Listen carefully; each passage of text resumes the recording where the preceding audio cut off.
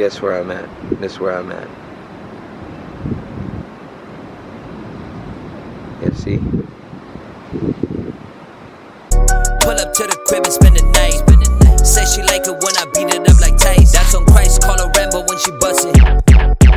On the gram, Yo, what's up, y'all? Welcome back to another video. We in the streets of DC. We pulled up here for the weekend, you know. Um, just on some like, uh, let's pull up here, you know what I mean? But we here in DC, feel me?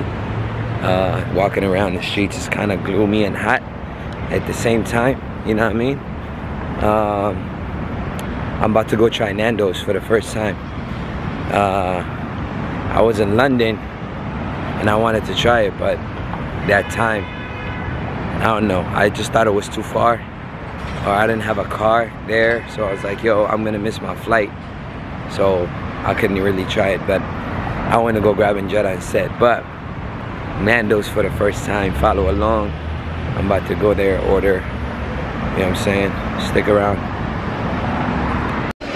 Yo, so we just came to Nando's. Um, we ordered, I ordered the, they said the popular one is a half chicken, so I got the half chicken, you know what I mean?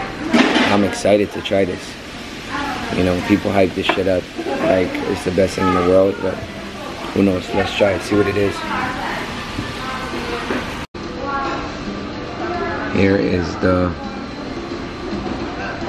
the price.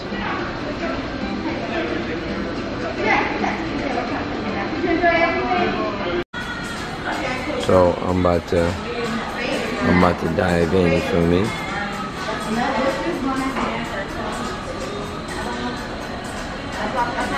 I'll let you know how it is after.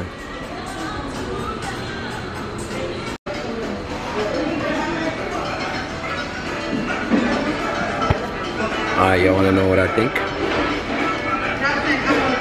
It's the hype. It's not just hype, it's good. It's really good. I thought it was just hype, but it's not. Chicken is fire. Food is A1. Worth the hype. You know what I'm saying? Just finished eating. It was good. Literally.